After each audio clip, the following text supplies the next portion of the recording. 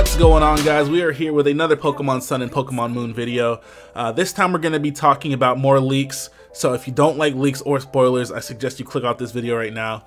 But as a competitive battler, I found this video that I'm going to be looking at today interesting because it's all about moves and items and Pokeballs and stuff like that. So I thought it was going to be pretty cool uh, to share this with you guys because I'm actually very interested in this video.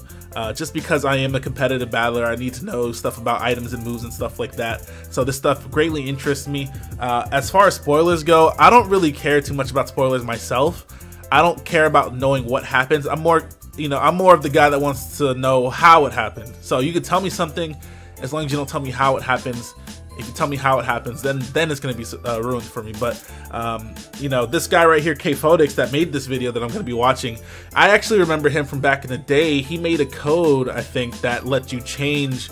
Um, the background of your Wi-Fi battles to anything that you know any scenery that was from the game. So I'm happy that this guy's still involved in stuff like this uh, you know in the data mining process. You can check the website projectpokemon.org at the bottom. And I suggest you check out Kaphotics channel because he has three other videos uh, detailing the data mining process and what they found in it. So go ahead and subscribe to Kaphotics I'll leave his link in the description. Check out his channel. Check out the videos. They have a lot of views because people are really interested in these leaks.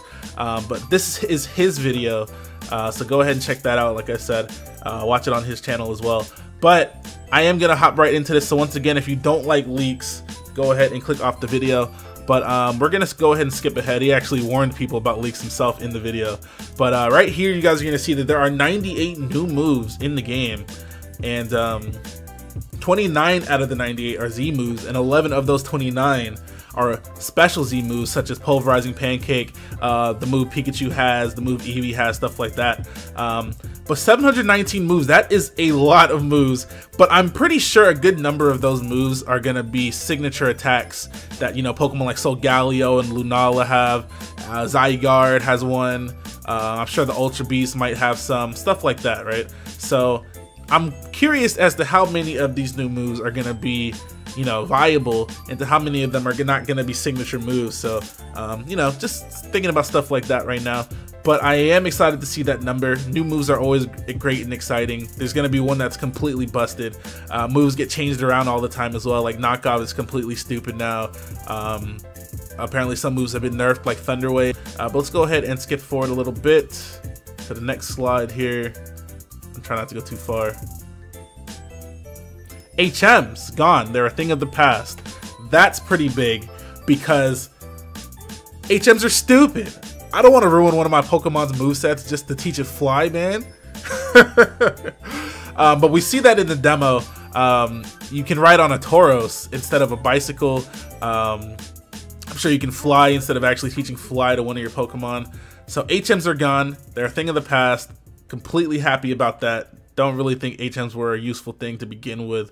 Um, but yeah, that's pretty cool to me. So here, uh, hold on, let me go back a little bit here. Um, if you can see, I might have to blow this up a little bit, but if you guys can see this, there are moves that have been removed, aka certain TMs are gone, okay? So certain TMs are gone, and not only are certain TMs gone, they've been replaced by some of the old HM moves. So if you look at TM76, it used to be Struggle Bug, but now it's Fly. Fly is a TM. You can teach Fly to one of your Pokemon, and it's deletable upon teaching. Not only is it deletable upon teaching, but it's a normal move. It's not an HM anymore. That's crazy to me.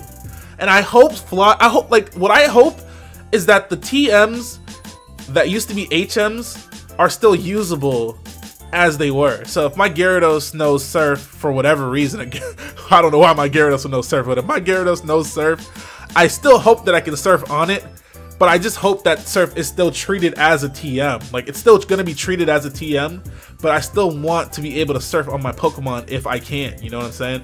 Like, if I teach my, uh, whatever that toucan thing is, or, or Pikipek, if I teach my Pikipek Fly, I still want to Fly on it, but I also want to delete Fly if I want whenever I want. And I, it seems like that's what I'm going to be able to do. But um, we have a few TMs that are brand new moves. Uh, and they don't have any names yet, obviously. Uh, Incinerate TM59 uh, is gone and replaced with a brand new move, move 693, whatever that is. I have no idea. Uh, we have a couple of those though. So that's pretty cool that we see that HM moves are actually TMs now, and certain TMs have been replaced with uh with other moves. Look at Dig, TM28 Dig. It's Leech Life now. If Leech Life is a TM, I'm gonna assume that it's been buffed because Leech Life was one of the weakest moves in the entire game before. I think it did like 20 damage. It was like a bug move, um, and it, it's like a, it's like a bug type Giga Drain, but it, it was like super weak. So hopefully they buffed Leech Life if they're gonna replace Dig with Leech Life. So um,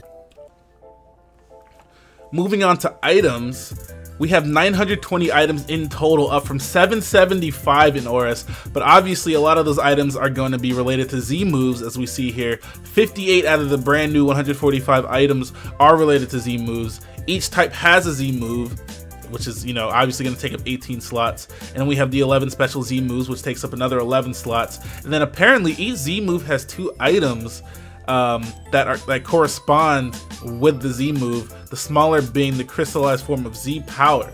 So that's 58 items out of the new 145 that are related to Z moves, but we still have a ton of items that are not related to Z moves. And I'm really excited about that because it seems that um, these items that we have a good chunk of them may be used for competitive. Like we have items like Choice Band, Choice Specs, Choice Scarf. Maybe we'll get an item that locks you into one move but raises your defense by, by a stage. Who knows? It's just really cool to me that there's that many new items. I'm really hoping that a lot of them are used for competitive um, because items, items and abilities are really huge in competitive play. Your hold item is a part of what makes your set good sometimes. Some Pokemon are not good without certain hold items, like Shedinja. Stuff like that. Um, but yeah, I'm really excited to see what these new items are. Uh, moving on, there's a new in-battle item like like Dire Hit with a held effect. So I don't know. That that doesn't matter to me at all. I never use those in-game like X defense and X attack items. I never use those bull craps. 852 new cure all medicine. Once again, doesn't really. I mean that matters in game, but it doesn't really matter to me as a competitive battler. So um, let's go ahead and move right along because there's some more interesting stuff in this video coming up. And it looks like I found what I was talking about before. 879 through 884 are held items with effects. So hopefully those will be uh, the items that increase a stat or do something for the Pokemon when they're being held, like a new life orb or something. I don't know. That'd be cool. Uh, 853 through 856 are used to change forms, so they could be the Zygarde cells. Uh, nobody knows that quite yet. These are just, you know, guesses. Uh, 849 is a new evolution stone. 847 is a usable key item to change forms for Zygarde. All four bikes and travel trunks have been stubbed. 851 is a new ball. So apparently what I saw on Twitter earlier today is that there is a Pokeball that is specifically used to catch the Ultra Beast. And I think there's a picture of that in this video somewhere. So that'd be cool to see. Uh, it makes sense that they would need a specific ball because they're not actually Pokemon, or I maybe they could actually be Pokemon, but I'm pretty sure they're not. So there's that. So here we are, the new Pokeball that they're talking about. I heard this is going to be called an Aether Ball, but nobody actually knows that for sure. But this is clearly, like, if you look at the Pokeball, you can see that it has the same design on it that um, the same design as when uh, Lillie actually. I guess it's not. I mean, I don't know. I, I can't say Lillie, but okay. You, you, let's scrap what I just said. Okay, it has the same design as when UB01 appeared in the trailer. I'll just say that. I was gonna say as when Lillie turned into UB01, but that's not what happened in the trailer. We don't actually know that, so I'll just say it has the same design as when uh, UB01 appeared in the trailer. Uh, we have some more screenshots of this Pokeball being used uh, right here. Yes, you can kind of see it there. I can't really blow this up any more than it is. Um, yeah, that's an even better picture right there. Um, once again, check out Kaphotics. He has watermarked everything, so go ahead and check out his YouTube channel. But that is the new Pokeball. This Pokeball is most likely going to be used to catch the Ultra Beast. That's my theory at the moment. But tell me what you guys think. Leave your comments down in the comment section. Tell me what you think about all this stuff. Uh, I think it's pretty crazy that we got all these new items. Uh, I'm really, really interested to see what they could be. Uh, but yeah, thank you guys for watching. I'm out of here. Bye!